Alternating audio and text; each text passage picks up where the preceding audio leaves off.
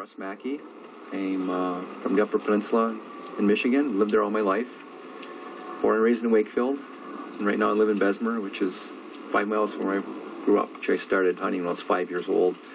Uh, so that was back in the 1950s, believe it or not.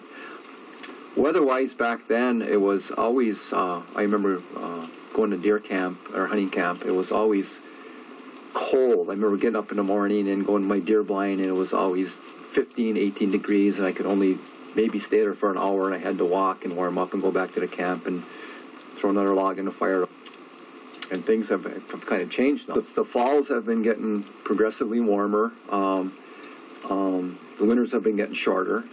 Last last winter was a really was a prime example of that. Is uh, uh, this second week of March last year we had 78 degrees up there the whole month of the whole week of March, the second week of March. Um, this year is a little bit different. It's kind of back to normal again, but I don't, I don't think that's going to last long.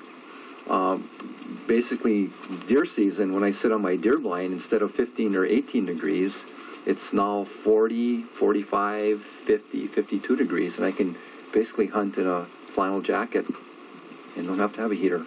Uh, with the global warming, it positively it, it, affects hunting because you can stay out in the woods longer. I can stay on my deer blind longer, and, uh, and obviously, the longer you spend on your deer blind, the chance for you harvesting a, a buck is is is greatly improved. Where back in back in the day, back in the 70s and 80s, when it was so cold, you could stay there for maybe an hour, hour and a half, and have to leave and, and go back back to camp to warm up. So.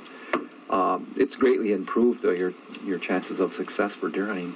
Hey, overall, I I, with with uh, with the global warming, it's not good for our economy because we're so uh, oriented on tourism up in, in, in the Upper Peninsula. Um, before, when the ski hills used to open in November and uh, hunting would open a little bit later than that, um, we used to have a lot of people that would come up there and, and, spend a lot of money early in the season, November and, and early part of December now the last I would say the last 12 or 15 years, people don't come up to the, the North Country until Christmas time.